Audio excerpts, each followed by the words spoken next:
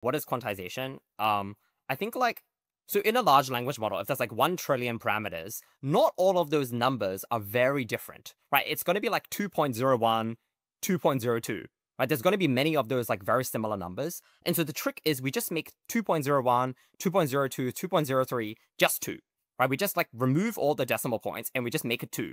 And so now you have like this way to like compress the model and delete all of these like decimal points, just get rid of them. And then you just have like these, you know, small amount of numbers that you can represent. Um, and so the funny thing is, this actually kind of works. It does not damage the model in any single way, right? If you like remove the decimal points, the model does reasonably well. Um, but then if you do too much, like if you like try to compress it so much, for example, if you have like numbers one, two, three, four, what are you going to do? Like you need to represent like one, two, three, four as like one number. That is probably not a good idea. So if you just select two as the number you want to represent, you essentially delete a lot of information. And so that is why you need to do dynamic quantization. So that's where the next thing comes in. Where dynamic quantization allows you to select what is the correct numbers you want to represent and the scale that you want to represent it. For example, if it's one, two, three, four, you don't want to quantize this because it's too different.